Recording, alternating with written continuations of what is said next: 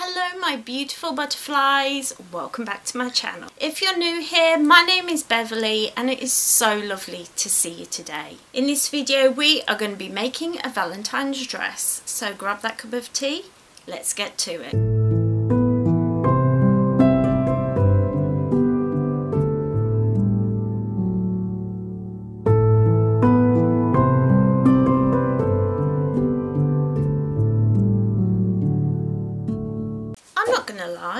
Bit nervous. I am, I'm nervous because I haven't sewn for a while. I do have other sewing content here on the channel so I'll leave a link to that down below. But yeah, I'm just learning, I'm teaching myself. My mum's here helping me out as well. And I thought it'd be really nice to just chill out together and uh, do some sewing because I love sewing. It's really fun and you can make like your clothing more accessible, easier to wear, nicer to wear, more comfortable. It's just a win-win all round. So um, really excited. The pattern we're going to be using is this one. This is New Look K6574 and we are actually making this dress but not short. We're making it long like this. So it's going to be long, but it's going to have little puff sleeves, which I think will be really, really cute. I'm nervous about making puff sleeves, but um, that's okay. That's why my mum's here to talk me through the hard stuff. But I'm really, really excited to make this pattern. I'm pretty sure I got this, yeah, I got this in a magazine. It came free with a magazine called Sew, www.sewmag.co.uk. So I'll leave a link to that down below. This is not sponsored in any way. I bought the magazine, I got this free, and I thought it'd be fun to make together. I wanted to make it like really cottagecore and cute, whimsical, you know, that whole vibe I just love. So, a while back now I thrifted this bedding. This bedding is so cute. It's like fake patchwork. It's in pink and grey. It has these lovely areas and it has roses on it in pink. And I just thought, wouldn't this look so cute as like a whimsical Valentine's dress? How cute is that? Also thrifted bedding. These are just plain sheets. I always thrift these when I see them because they're great to use for lining, which is what I'm going to be doing for this project. I'm going to just use this as the lining of the dress. So that's a little cheap thing for you if you're just learning to sew or you don't want to use fabrics that because the fabric industry is very wasteful and very expensive. So if you're trying to be a bit better to the planet better to thrift you can thrift curtains you can thrift bedding you can thrift all sorts of things which makes sewing a lot easier and a lot cheaper. I already had this thread here so I'm just going to be using that. I got it for another project, uh, probably got it from a local sewing shop. I also already had this 22 inch, it's like white but not completely white, zip. So I'm going to be using that. And I collect buttons, vintage buttons. Whenever I see them in like charity shops, I'll grab them. And I just have a big jar, it's like literally full of buttons now. But I have these really cute little pearlescent red buttons that I thought would look really nice. So it requires two buttons, but I'm not going to be doing buttonholes and things. And I was talking about this with my best friend Louise. I find buttons really inaccessible. I don't have much feeling in my hands and fingers. And because of that buttons can be quite difficult especially small buttons like this. Very difficult to use very very difficult. So what I'm going to do is I'm going to put press studs underneath and just sew the button on top. So why not make it easier? I'm making this clothing for myself why not make it easier for myself? So I haven't bought anything new. Everything's just out of my stash, which I absolutely love. Definitely take the time to look for sewing things like buttons and zippers and patterns and things at your charity shops. Try and get them secondhand as much as you can. It saves you a fortune. So, so far, this project hasn't really cost me anything. I think the bedding's usually about £2.50 each. But before we get to the actual sewing, make sure if you're new here, you click the subscribe button to become part of the Butterfly family. We would absolutely love to have you here. You are more than welcome.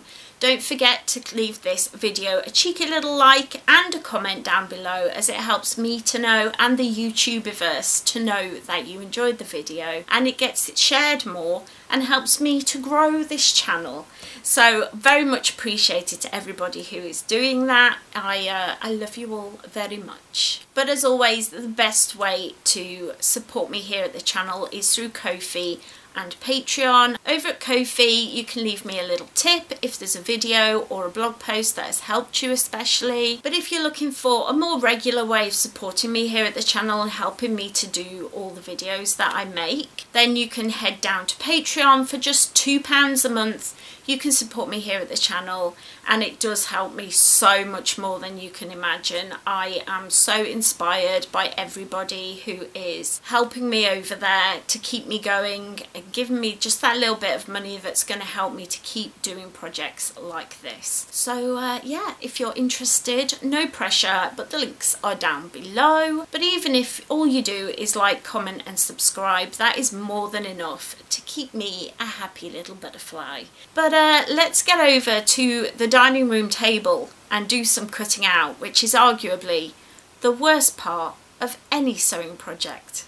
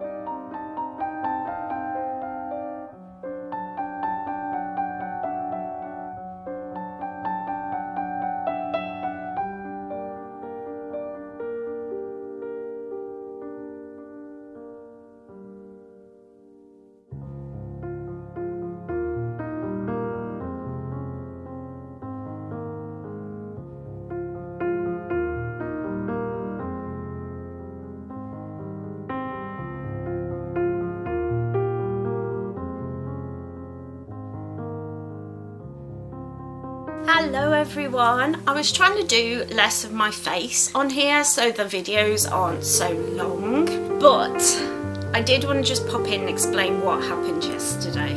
So I've been sewing uh, the last few days with my mum's help and I thought I understood what I was doing. I thought I was doing it correctly but after phoning with my best friend Louise who's helped me before. I'll leave a link to her channel uh, channel. She doesn't have a YouTube channel. To her website even. To her website down below because she really helped me through and I've gotten quite far now. It's all the the the bodice of it is all done so I'm feeling pretty good about myself now very grateful to Louise for kind of just going let go of the anxiety just do the steps. Just do it. Just do it. So today we are hitting the sleeves. It's a new day. We're going to let go of any fears let go of any anxiety and we're just going to try and move through the day move through the steps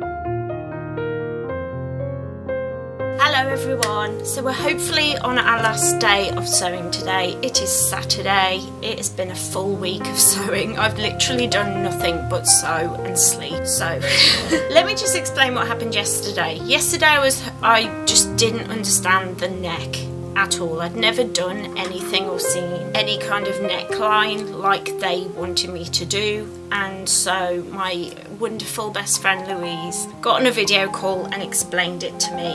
So yesterday off camera I did the neck. So this is, it was really really complicated but it looks really good now it's done.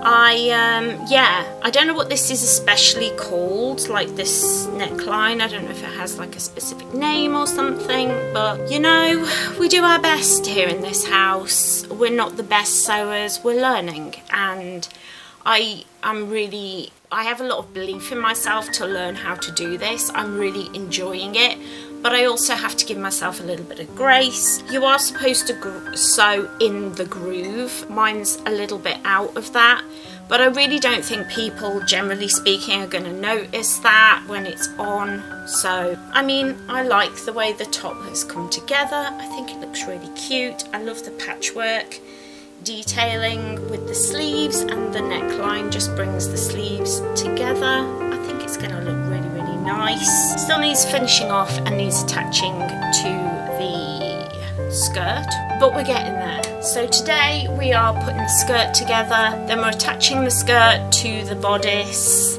adding in the zip, sewing up the back seam and adding the details on the front. I will say I have made this more accessible by, instead of having two buttons with a loop, with a loop the loop kind of fastening on them like the pattern is asking for. I'm just going to sew two buttons on as an extra detail and then I'm going to use little hook and eyes because um, buttons can be tricky for my fingers. I do struggle because I can't really feel my hands very well so learning skills like sewing is a really good way to make my clothing more accessible and you know what it really makes me thankful that I can learn this skill and I can learn how to make it more accessible for me.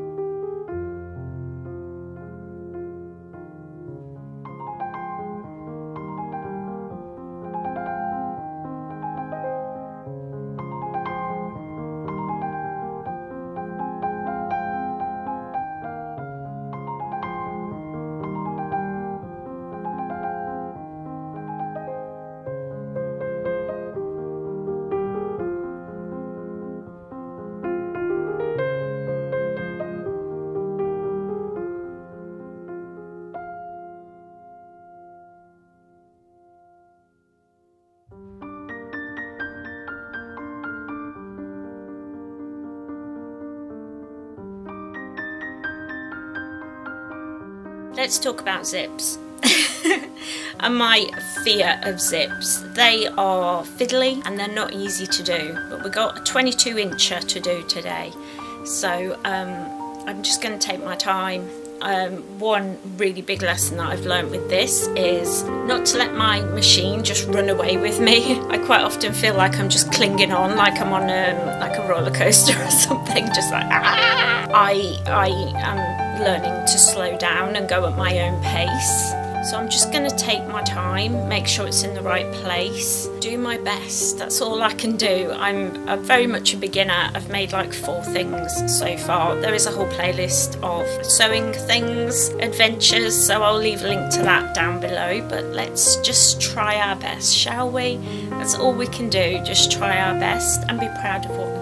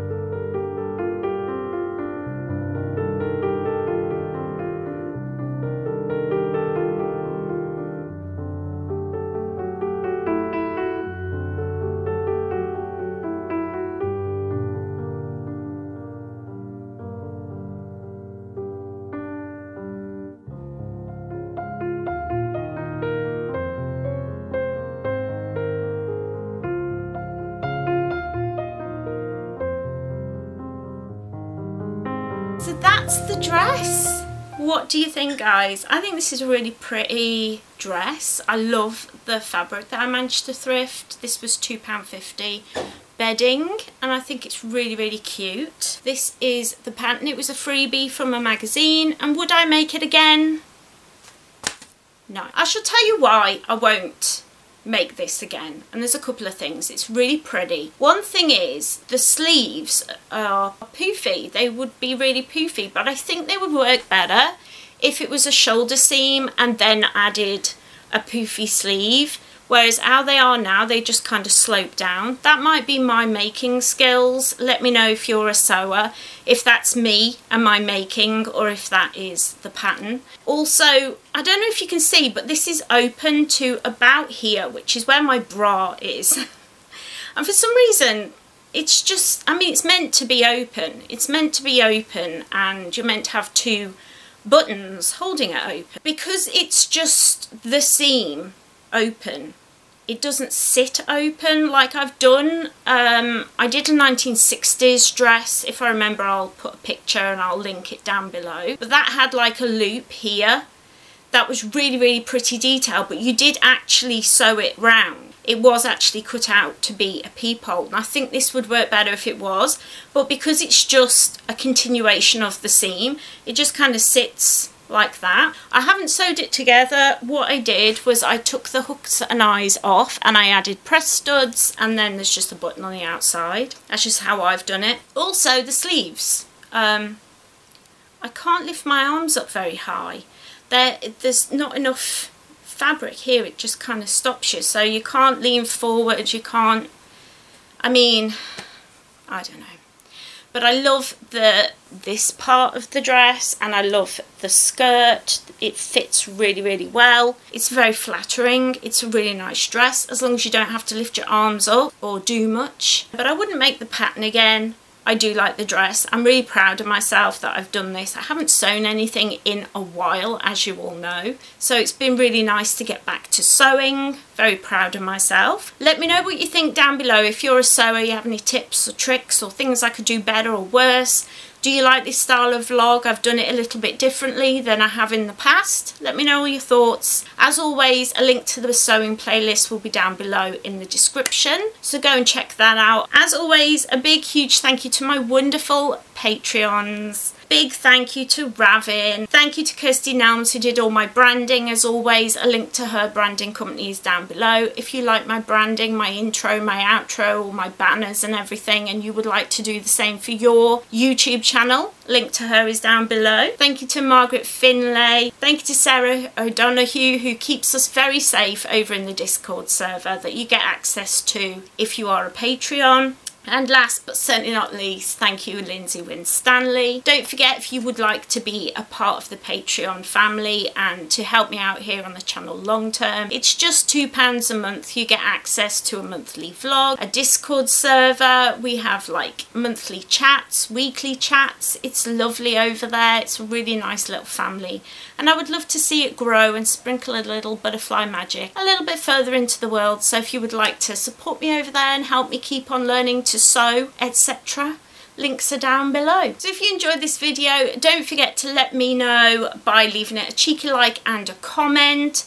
This lets me know that you enjoyed it as well as the YouTubiverse who will spread out the love and help other people to find the channel. I would love to grow this channel. Keep on seeing more people in the Butterfly family. So definitely make sure you do those. Huge thanks to everyone who has so far. Don't forget also if you are new here you can click the subscribe button and ring that little bell to know when I upload. I'm usually here on Fridays, but sometimes on Mondays. It just depends what's going on in my life. I always try my best to have at least one video out for you every week. Take care everyone, have a wonderful magical week and I will see you in the next video. Bye guys.